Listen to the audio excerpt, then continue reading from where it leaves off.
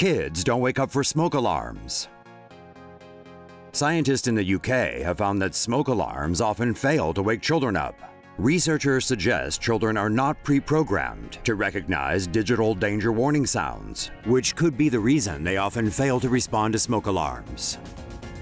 A prototype new alarm would lower the standard smoke alarm frequency of 3000 Hz to 520 Hz and use a female voice to issue a verbal warning. Young children are said to be more likely to respond to this new sound alert.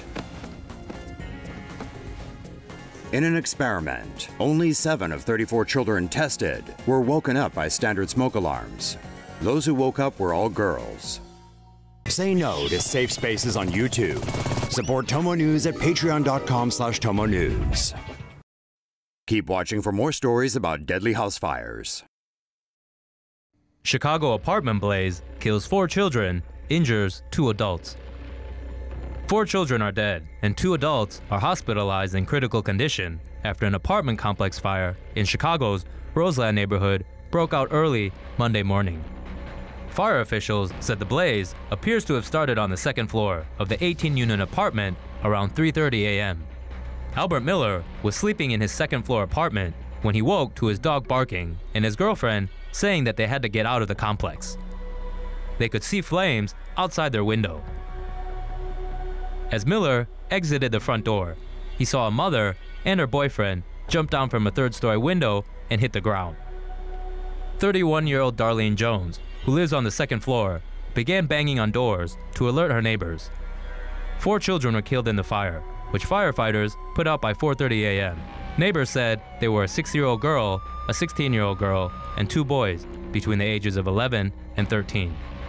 At least 50 people have been displaced from the courtyard building because of the fire. The cause of the fire is under investigation. Seven dead in apartment fire in Boston suburb. The people of Lowell, Massachusetts are mourning the loss of their neighbors after four adults and three children were killed in the deadliest fire the state has seen in 20 years. At around 4 in the morning on July 10th, a fire broke out in an apartment building above a liquor store. The fire was discovered by a police officer on patrol.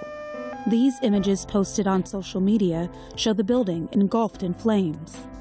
One witness described seeing desperate residents dropping their children from windows to safety.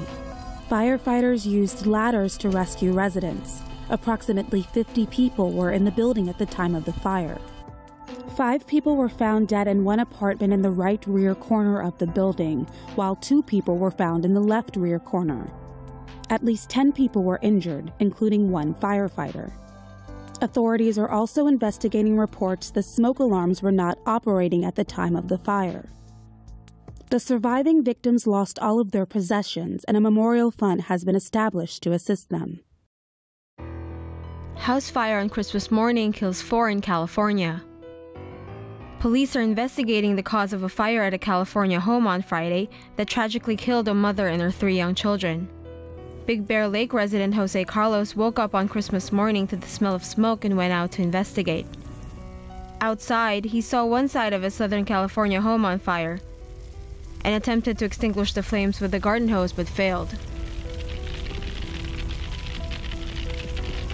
Carlos ran back inside for his family, eventually retreating because the fire was too intense.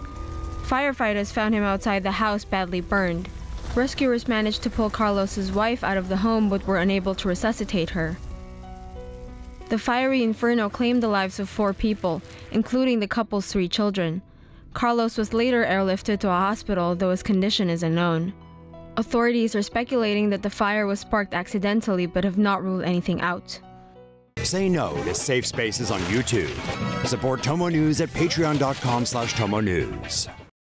Officials find dead bodies after a fire broke out in a house owned by retired tennis pro. Police discovered dead bodies inside a house owned by former professional tennis player James Blake on Wednesday. According to a spokesman for Blake, he had rented the Tampa home out to a couple who had two teenage children. The family has been identified as Darren Campbell, his wife Kim, and their children, 19 year old Colin and 16 year old Megan. Neighbors reported hearing an explosion before the fire broke out at the house. They also reported hearing gunshots, although officials said the noises may have been from things exploding in the fire.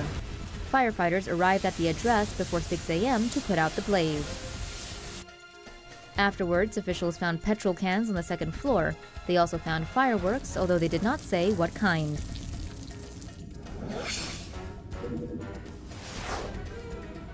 Firefighters found at least three dead bodies inside the home after the fire, with some reports saying a fourth body was also found. Officials have not confirmed whether the bodies found inside the home were members of the Campbell family.